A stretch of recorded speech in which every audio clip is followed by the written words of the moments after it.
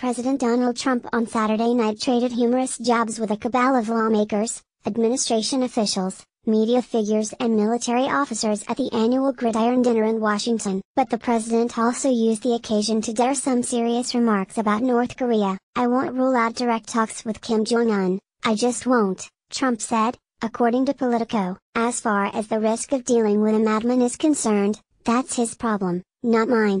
I won't rule out direct talks with Kim Jong-un, I just won't. As far as the risk of dealing with a madman is concerned, that's his problem, not mine.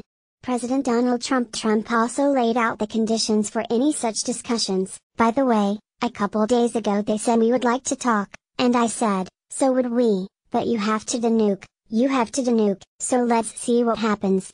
Maybe positive things are happening, I hope that's true. We will be meeting and we'll see if anything positive happens the president said. The comments came during Trump's speech at the Renaissance Washington Hotel, at an event that he skipped last year.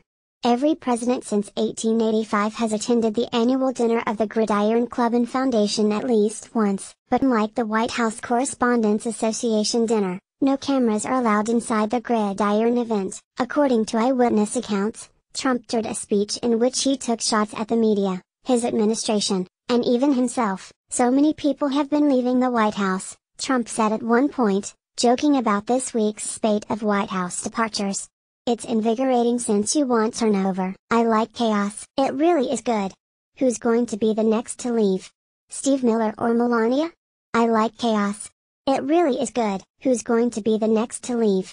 Steve Miller or Melania? President Donald Trump referring to his son-in-law Jared Kushner's loss of security clearance, he said, we were late tonight because Jared could not get through security. Addressing Vice President Mike Pence's supposed hostility toward the LGBT community, he said, he is one of the best straight men you're ever going to meet, man. Trump also said, I really am proud to call him the apprentice. Another target was former chief strategist Stephen Bannon, that guy leaked more than the Titanic. When others were speaking or performing, Trump was reportedly a good sport, laughing and applauding at times during the evening's entertainment. He closed by saying, I just want to say this, this is one of the best times I've had with the media, this might be the most fun I've had since watching your faces on election night. This is one of the best times I've had with the media, this might be the most fun I've had since watching your faces on election night. President Donald Trump a charitable organization, the Gridiron Club and Foundation contributes to college scholarships and journalistic organizations. Active membership is limited to 65 Washington-based journalists. The Associated Press contributed to this story.